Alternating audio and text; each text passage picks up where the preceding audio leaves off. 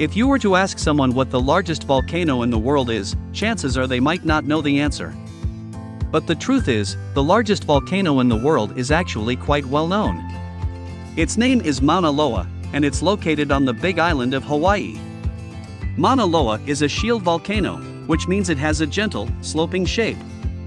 But don't be fooled by its unassuming appearance, Mauna Loa is actually one of the most active volcanoes in the world. Mauna Loa has probably been erupting for at least 700,000 years, and may have emerged above sea level about 400,000 years ago.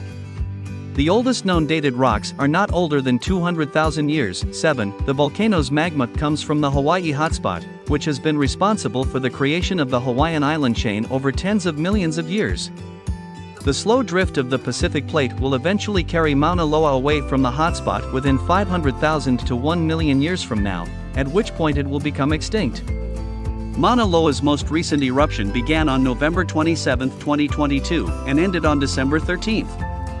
It was the first eruption since 1984 8 9. No recent eruptions of the volcano have caused fatalities, but eruptions in 1926 and 1950 destroyed villages, and the city of Hilo is partly built on lava flows from the late 19th century.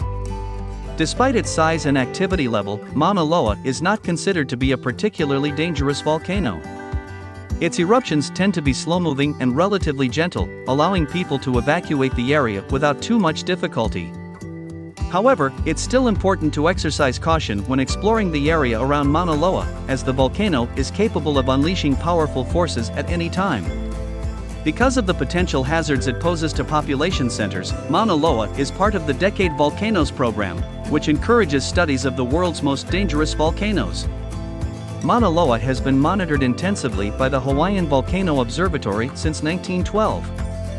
Observations of the atmosphere are undertaken at the Mauna Loa Observatory and of the Sun at the Mauna Loa Solar Observatory, both located near the mountain's summit.